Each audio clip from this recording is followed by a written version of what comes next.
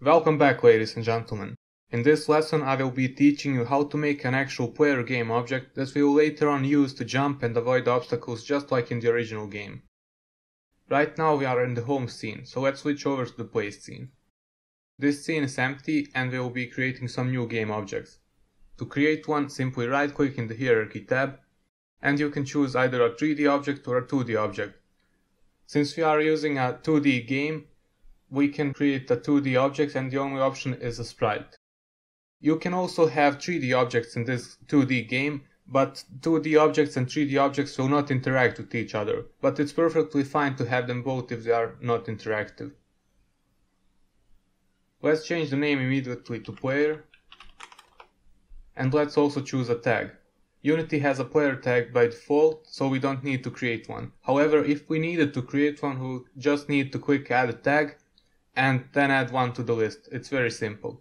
But for now let's choose this pre-made one. Make sure you reset the position before you do anything else. We can't see anything because we still haven't chosen an image for our sprite. To do that, simply right click on this little circle right next to the sprite attribute. And we'll be also using a pre-made sprite for this by Unity. It's the knob sprite and you should be able to find it at the bottom double click it to choose, and now we can drag it down a little bit. But this seems kinda small when compared to the original game, so let's go ahead and rescale it.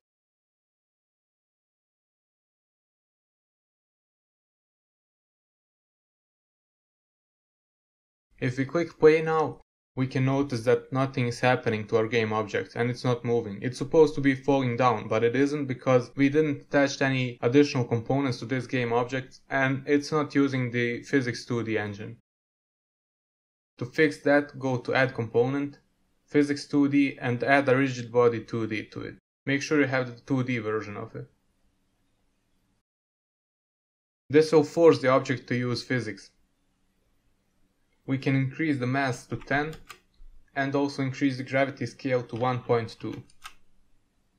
Everything else seems fine. If we click play now, our object should be falling down. Now since we want this object to only be moving up and down, we can go ahead and in the constraints tab here, we can freeze the position X and the rotation Z. Y is the only axis that our object will be moving on.